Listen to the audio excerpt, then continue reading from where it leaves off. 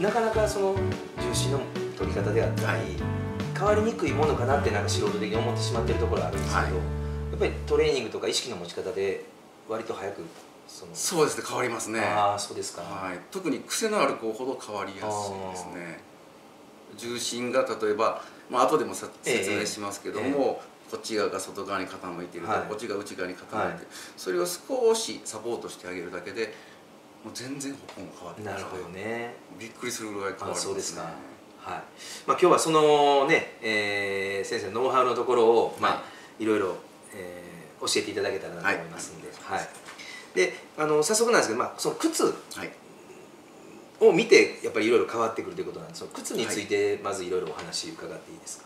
はい、はい。で靴ってまずあの足のことからあ説明させていただきたいんですけども、はい足ってこう歩く時っていうのはこの指の部分が曲がりますよね、はでこの部分が曲がる靴をまず選んでいただきたいんですよ。でそれが例えば僕が履いている靴なんですけども、はい。まあこう横からちょっと曲げていただいて、ええ。この部分指の曲がる部分、はい。はい。これはまあ理想です、はいはい。当たり前、はい。もうこの部分が曲がってくる、はい。ただし、えーこの指の中足骨っていう部分、はい。でまあ、リスフラン関節っていう、まあ、専門的になるんですけど、はい。この部分っていうのはできたら動かないでほしいんですうんでその部分が例えば最近よく子供が流行ってる靴ではい「何々」っていうのがあるんですけども、それとかはねもうこれちょっとち違う靴なんですけども、はい。これはちゃんと曲がってます、はいはいはい。ここの部分がぐにゃって曲がってしまう靴がああるんですよ。あれはね本当にやめていただきたいですねで曲がる場所が一番大事。まずこれですね、はいはい。先の指のところが曲がるっていうのと、今度はかかとですね。あはい。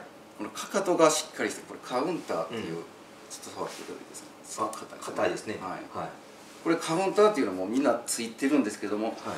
さっき高平さん持ってはったやつくにゃくにゃでしたよね。は あれはあのカウンターがないのでブレやすくなってくるんですよね。